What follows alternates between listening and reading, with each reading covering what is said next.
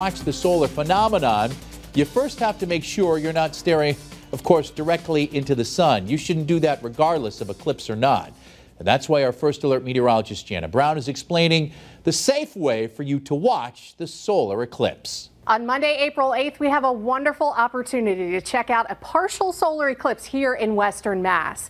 Even though we won't get to see the big show of totality, we'll actually get to see most of the sun disappear. As you make your plans to watch the eclipse, the first thing to figure out is how to watch it safely. No matter where you are, looking at the sun requires protection or eye damage can occur. In order to protect your eyes, you need specific glasses or lenses for solar viewing. This is a pretty big event, and there's a lot of eclipse glasses to choose from, and they're sold online for many sites. Use caution, though, there's a lot of fakes out there. Look for this ISO 12312 2. This is the current standard for safe solar viewing, and your eclipse safety glasses or viewers should have this designation printed on them. There's also filters made for safe viewing through telescopes, binoculars, and cameras. Well, if you don't have these cool glasses or viewers to check out the solar eclipse, there's actually a way you can view it indirectly.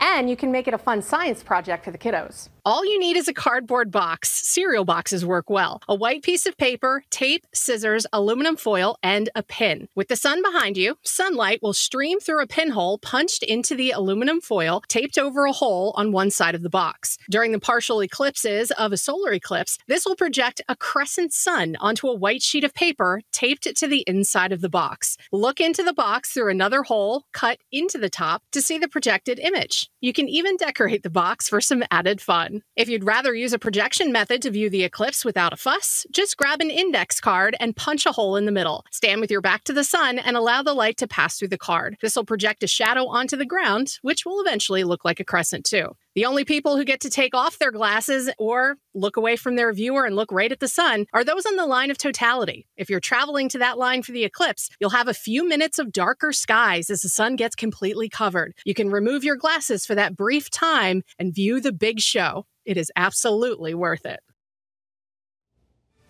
And our special coverage of the Great American Eclipse continues all week right here on the networks of Western Mass News. Just tune in, as you always would anyway, at 4 and 5 on ABC 40.